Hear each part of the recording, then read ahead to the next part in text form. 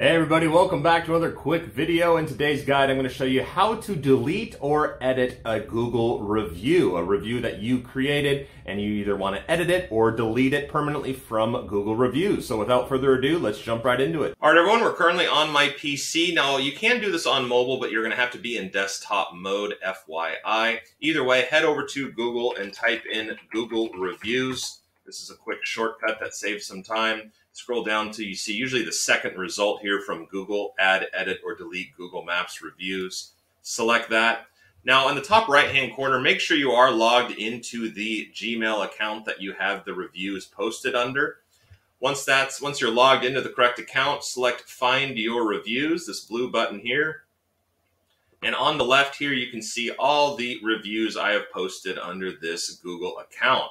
Now let's just say I wanted to edit this one here. All you have to do is hover over the three little dots, select edit review, do your edit, select post, and it'll update.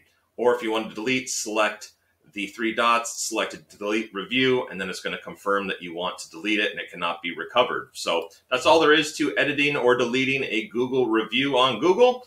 Hope you found this video informative. If you did, please hit that like button we'll see you in the next video.